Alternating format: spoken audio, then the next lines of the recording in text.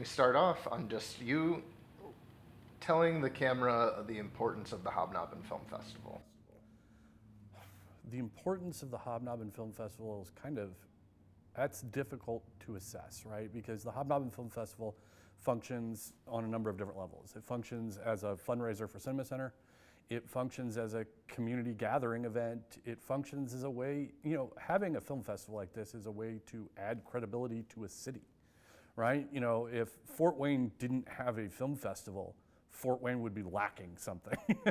and so the, the fact is that Hobnobben functions on these different levels to do different things. And so, you know, here at Cinema Center, we're the gathering place for the cinematic arts in Fort Wayne. We're the place where you come if you're a filmmaker to meet other filmmakers in Fort Wayne. We're a place where you come if you are a movie nerd.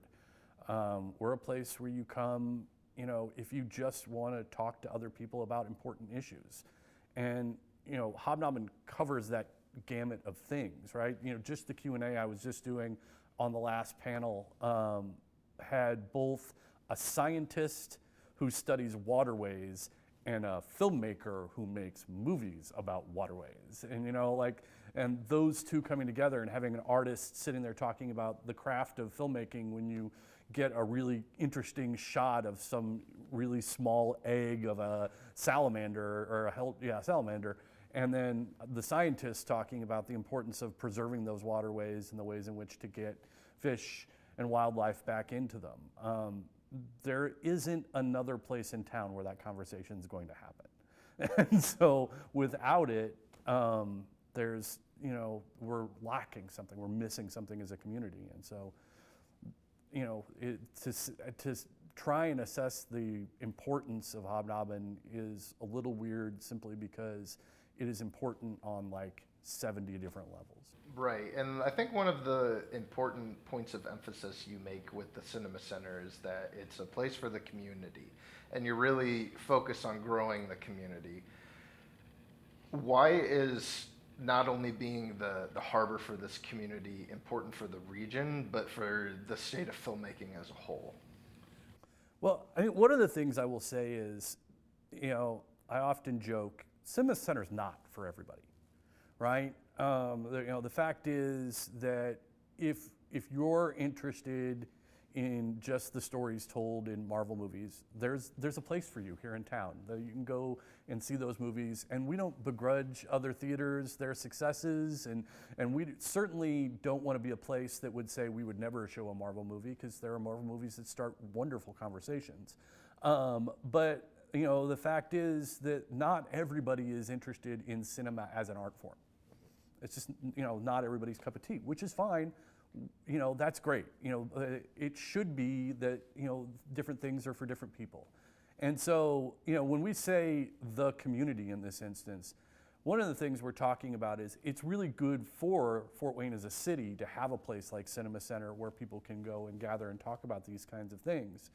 Um, but when we talk about growing our community, a lot of times what we're talking about is getting the word out to people such as us, such as the people who are in this room, you know, such as myself, who are interested in the cinematic arts and do want to have these conversations about, you know, like I said, you know, the, the, in the last block, you know, the first question I asked in the Q and A was to the director about how she got this tadpole you know, in frame in a shot, you know, like the, the lens and the shallow depth of field she got on that shot was outstanding. And I was, what were you doing to get that shot? And, you know, somebody who would ask that question has a home here at Cinema Center.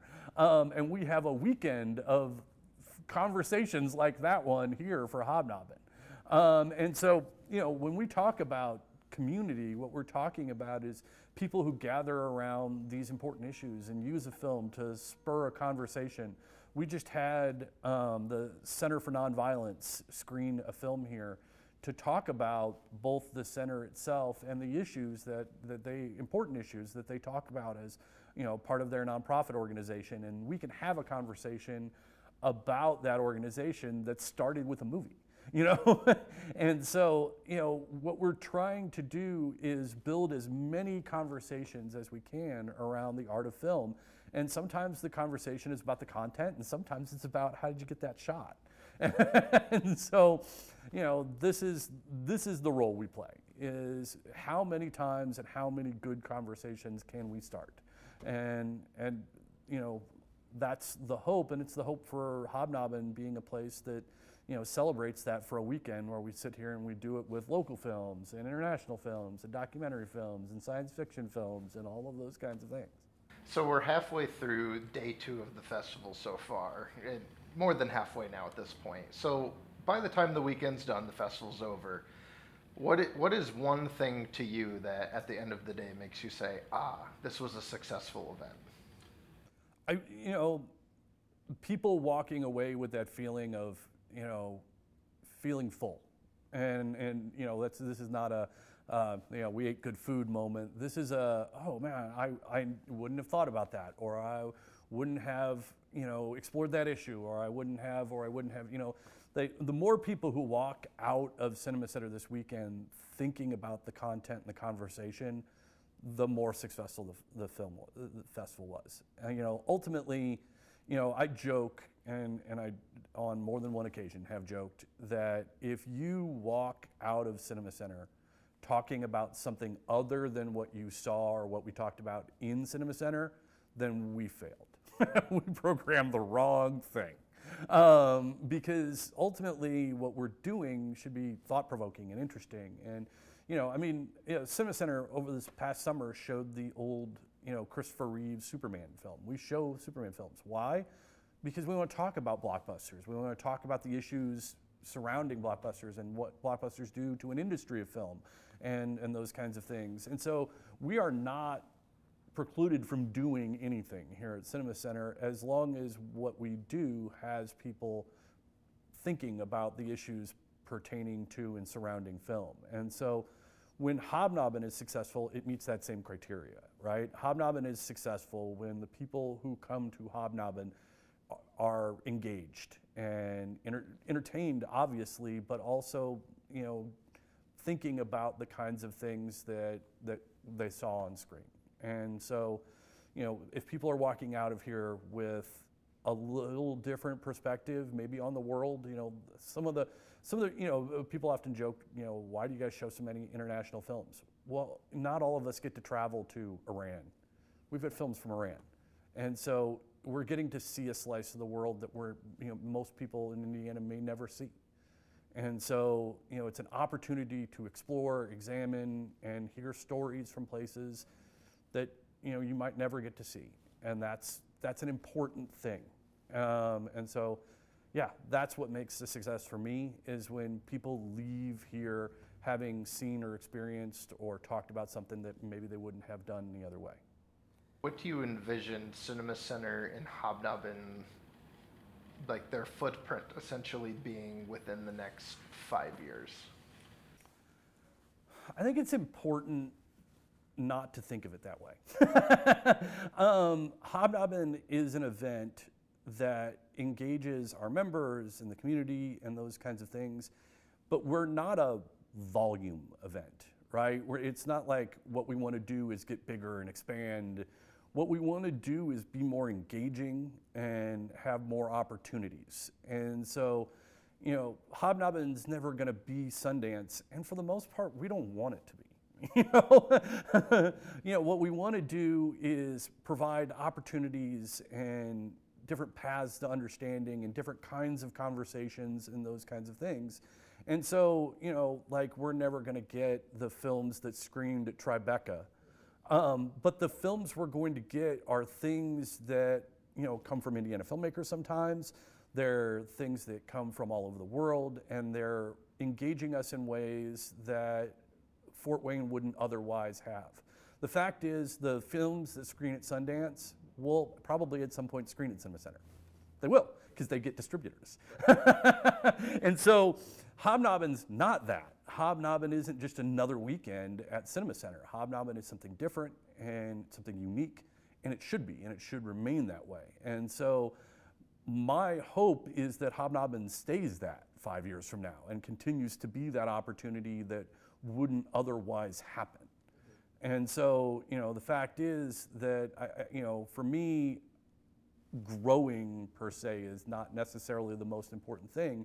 The most important thing is being able to bring this to the community of Fort Wayne without, you know, losing that identity. And what is like? I know this year was like, I think the highest percentage of Indiana filmmakers in the festival. Is that something in particular you're trying to harbor with Hobnobben, or did it I just happen that yeah, way? Yeah, I don't, I don't know if that's something we're trying to do with Hobnobben as much as, um, you know, the, the fact is that Indiana is a growing but also struggling kind of film community. Um, Indiana needs support, um, but they also, you know, the filmmakers here also need a place to go to gather. Um, and so, you know, the fact is that Cinema Center needs to be a place where if I've got a script, I can go and meet a cinematographer. And, and so, you know, one of the things that we are trying to cultivate, trying to build, um, is a sense of this is the place where you go to have that experience. Uh, you know, the, the joke is in Los Angeles, every, every person you would knock into has a script in their back pocket, right?